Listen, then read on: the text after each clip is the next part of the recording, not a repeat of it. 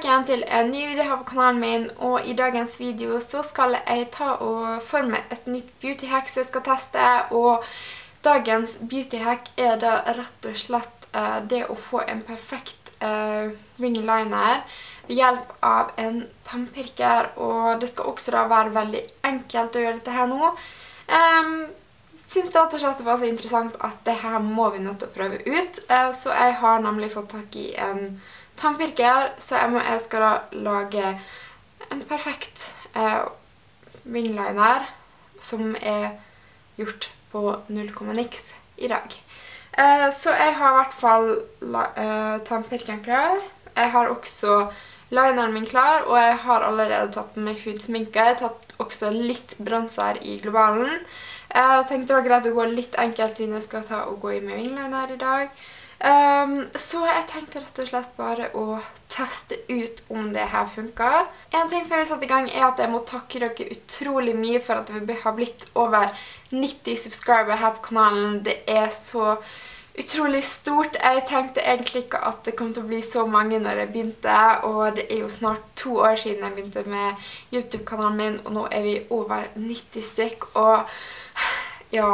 Det varmer rett og slett i hjertet mitt, og jeg er utrolig takknemlig for at uh, dere har lyst til å abonnere på kanalen min og følge med, og ja, så jeg er litt sånn uten ord akkurat nå, men i hvert fall tusen takk. Uh, men jeg tenker rett og slett at vi skal bare begynne med selve um, hacket, for å se om det her funker.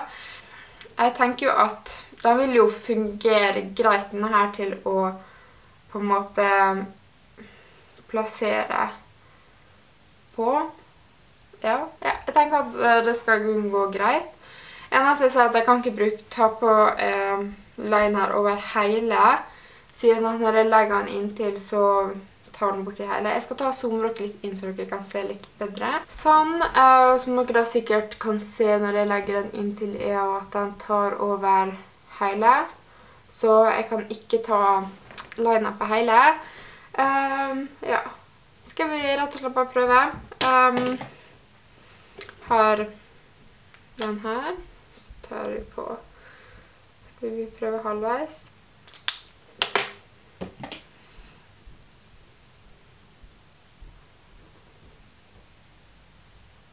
Oi! Det ble en liten ving. Yay!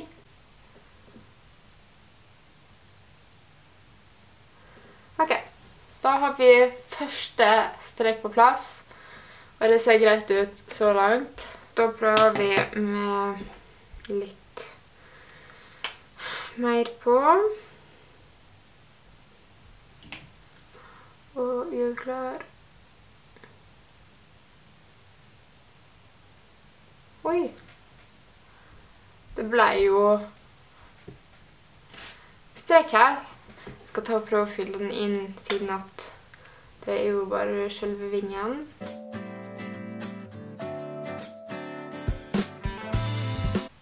Og gikk litt stoffer her. Det var min egen feil.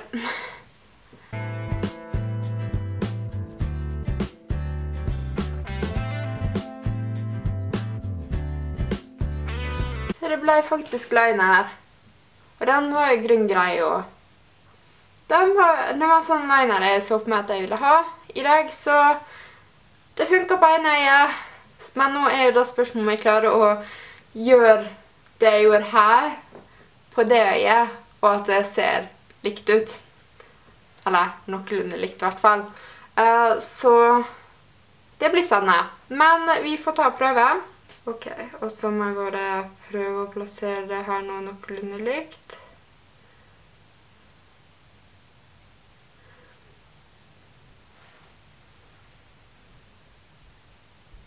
Følte at han gikk kanskje litt ja, kanskje litt feil plassert for min del. Kanskje plassert den bitte litt feil, men vi prøver på nytt.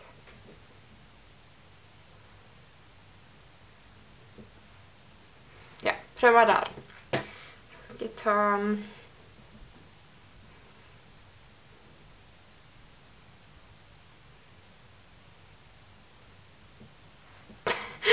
kanskje bare gå over på en øye.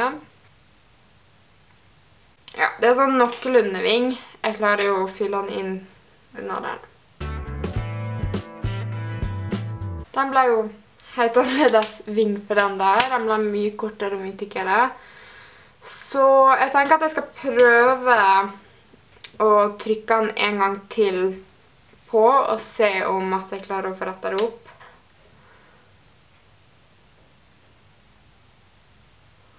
Ok, da ble den i hvert fall lenger. Kanskje litt for lang også. Dette skal ikke være enkelt. Men jeg fikk i hvert fall tynn strek. Det kan man si med den her nå.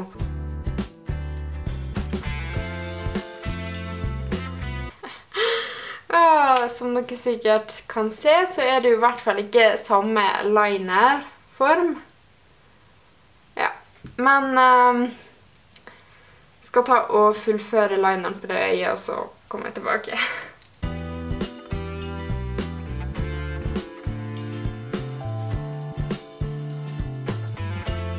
Sånn, da har jeg fått på plass vingen på andre øyet, og hvis du ser på vingene for seg selv, så er jo de veldig fine begge to.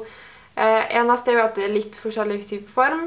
Eh, ser i grunnen ganske greit ut nå når jeg eh, fikk fullført begge. Man ser ikke at det er så stor forskjell, men det er jo en liten forskjell. Eh, så jeg skal ta og ta på litt mascara, og så kommer jeg tilbake igjen for å ta en oppsummering. Sånn er da det ferdige resultatet med mascara på.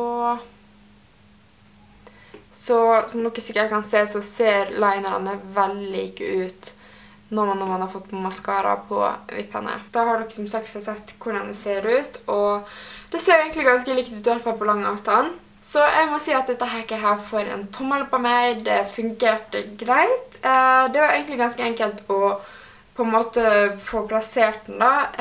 Eneste er jo at jeg må være veldig forsiktig at kanten her ikke gikk inn i øyet da.